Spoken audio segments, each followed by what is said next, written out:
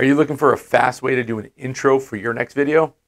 Or maybe to do a teaser trailer for a video you're producing? Well, on today's episode, I'm going to show you how to use Instant Mode on Filmora 11. Stay tuned.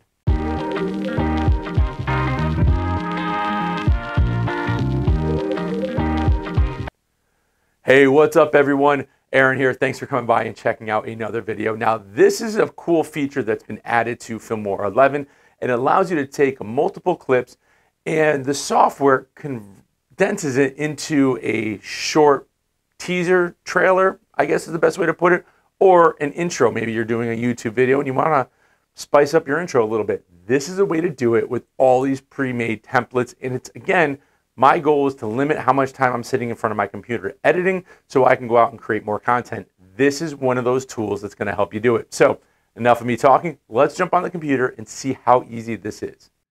All right, so now we're on the computer. We've got Filmora 11 up and running. And again, if you don't have a copy of Filmora 11 yet, make sure you use the links in the description below for Mac or PC. Now, normally we go into, you know, right into create new project, but today we're going to go and click on Instant mode right here.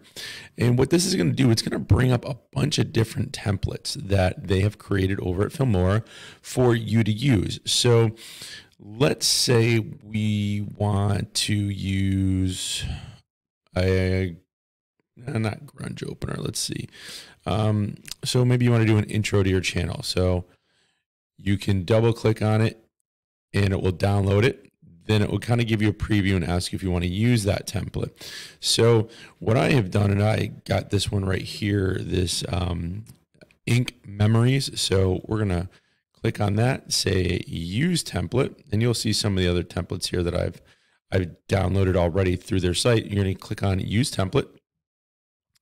It's going to open up this screen here. Now, this is where you're going to import your media, and the more clips, the better. So, um, if you have short clips that you want to put together, or maybe you just want the software to do it for you, this is going to be the best way to do it, especially if you want to do like a little quick intro for your YouTube channel. So I'm going to click on this and I'm going to click on, let's see, we're going to have uh, one, two, three, uh, four, five, six, seven. All right, we're going to click on those seven and see what happens. Now, these are just random clips that I have that I use for different things, B-roll, stuff like that. This isn't anything that I've shot myself. And so, again, you can click on import more, um, more media here. And then as you go through this and it does its thing, you'll then be able to edit some stuff and, and words and stuff like that. So next, what you're going to do is come down here and hit auto create. And it's going to do its thing, and we'll come right back as soon as it's done. Okay, so now that it's done, that was quick. I'm just going to rewind this a little bit here. Rewind, drag the playhead back. So you got different elements here. You have um, music. You can swap the music out if you don't like it. Now, this is mostly music that is on Filmora. Um, and you can search by different genres. You can add text and whatnot. And then you can also pick or add different um, templates. So here's all our clips right down here, broke them out. This is what it looks like without me doing anything else to it. I didn't go into effects. I didn't change the music or anything like that. This is straight out of the box.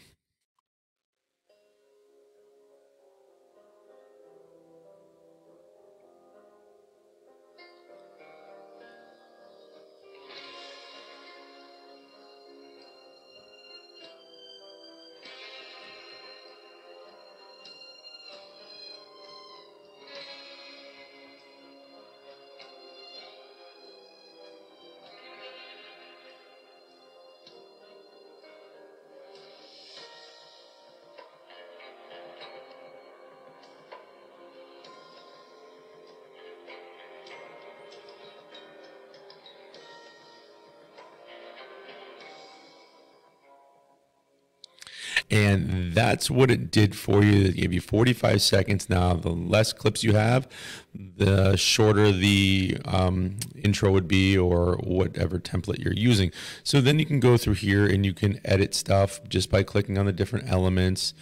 And it will allow you to, to, to change things as you go through. So um, that's nice. You can change it, put in whatever kind of wording you want. But what's great about this is if you're looking to do an intro and you got a bunch of random clips, maybe, or even on this one here, I could have rearranged things a little bit to make more sense.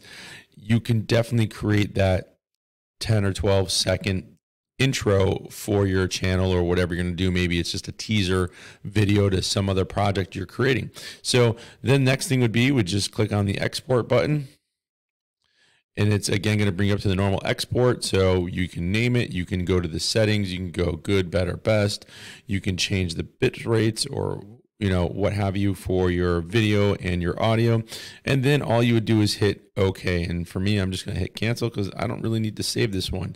Another thing you can do is if it's a longer clip, uh, click on this little auto highlight, and then you can pick for TikTok, YouTube Shorts, or custom. So that's also kind of a cool little feature when you're doing this is if you're doing like a teaser video to something, you could do the teaser video and then you could do this for TikTok. All right, so you can see how easy this is. This is something that anybody can do. The instant mode makes it super efficient for you to create intros to your videos that you're doing on YouTube, or maybe you've created a longer video and you want to break up certain sections of that and turn that into a preview trailer. You can do all that with this using these design templates. And again, the goal is to limit our time when we're sitting in front of our computers editing our content. So Hopefully you found this useful. If you are going to use it, leave a comment down below. Let me know how you're going to use it and leave a link to that video or that intro so we can check it out. Thanks for watching. I'll see you in the next video. Peace.